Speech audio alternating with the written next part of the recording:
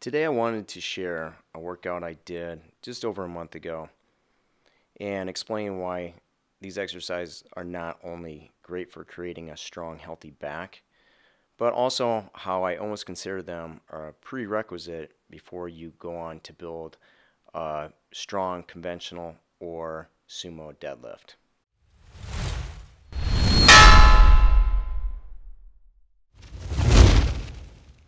So this particular workout, I decided to do 100 bodyweight pull-ups. Even though I'm strong enough to do weighted pull-ups with some weight at my waist, I often like to do just more reps so that I get kind of a pump into my bicep tendons. A year and a half ago, I actually tore my bicep tendon completely, and prior to that, I'd actually partially torn it um, in an arm bar at practice. I didn't tap out. Guys, don't be a dummy. It's just practice. Tap out. Let it go. Another go. Anyway, it finally tore about a year and a half ago, and I like to do a lot of high reps to get a lot of blood flow into that area and help strengthen and reinforce that tendon that was surgically repaired.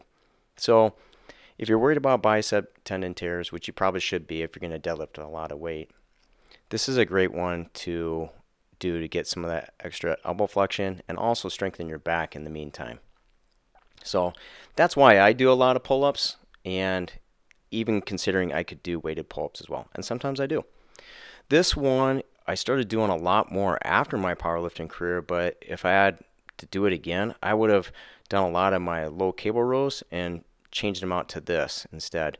The reason being is you're you really have to activate your core to hold that sandbag. That's really hard to stay solid there. And also, the ropes are much more challenging than just holding a bar or even like two grips if you have two different cables. So, in a lot of ways, I would consider this superior, especially for something like deadlifting, as opposed to like a low cable row or even a bent over row. We're using a bar. You have to grip a rope so much harder and secure your grip than you do even a, barbell, especially when most guys are doing really skinny barbells, like maybe a deadlift bar or even a dumbbell. This is way harder, guys. And the fact that you have to think about keeping your core tight, like you would need to do in a deadlift, it's pretty awesome. Also, you'll see here in a second, I would I often do a lot of drop sets where I just tip it, drop it, and rip out a few more reps. So once you do it a couple times, you got to be careful at first, but you'll get the hang of it. And I couldn't recommend an exercise more for building up a really strong deadlift. Now this one, I've always done straight arm pull downs when I started strength training, mainly because of for snap downs for wrestling.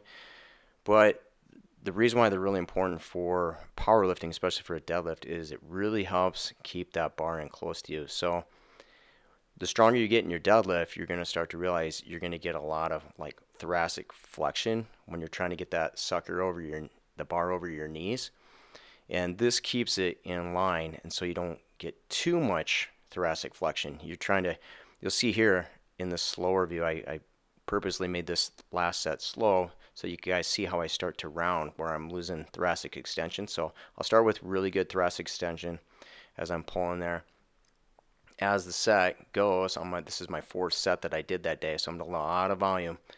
You're going to see my back start to round forward and pull forward, okay? This is important to know because you get fatigued in like in a, in a meet or if you're doing a lot of deadlifts, it's going to start to round over. So keeping your chest up and keeping thoracic extension is a big deal. And this is a great way to work that. So this one's my elbow flexion exercise I prefer to do. Usually my arms are toast by the time I do those pulls, whether it's pull-ups, rows, all that back stuff. So the way I do my curls is I actually use a lighter dumbbell and then I will actually start with my palms down, my palms in, and then my palms up. Okay, so you're always going to use your bicep and your brachioradialis and your brachialis um, in each motion, but by starting palms down, you work your brachialis a little bit more. Then as you rotate up to like a neutral grip right here, it's brachioradialis, and then finally you're doing um, your biceps brachii. So that's why I do those in particular for elbow flexion and I think it's really really helped me evaluate how I'm progressing on my left bicep tendon so I need to supinate more on my left as you can see. And that's why I do these exercises guys. If you haven't tried these before I definitely recommend them.